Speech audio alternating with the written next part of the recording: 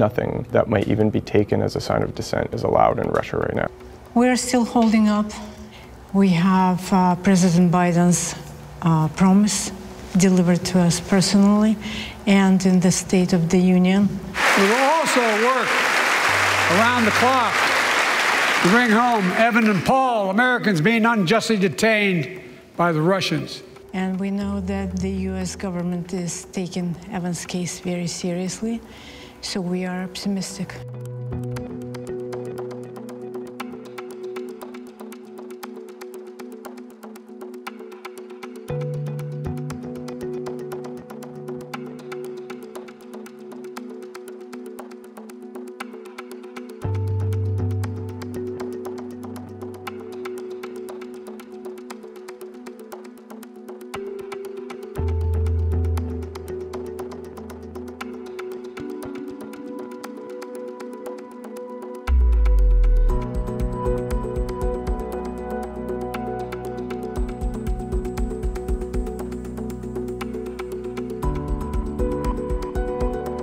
The accusations against Evan are categorically untrue.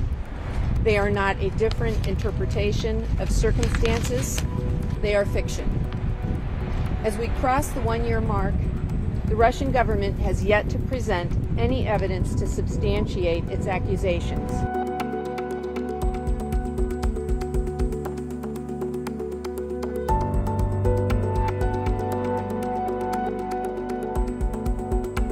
I do not rule out that the person you refer to, Mr. Gershkovich, may return to his motherland. By the end of the day, it does not make any sense to keep him in prison in Russia.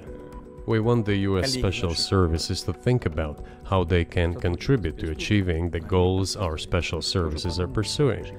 We are ready to talk. Moreover, the talks are underway.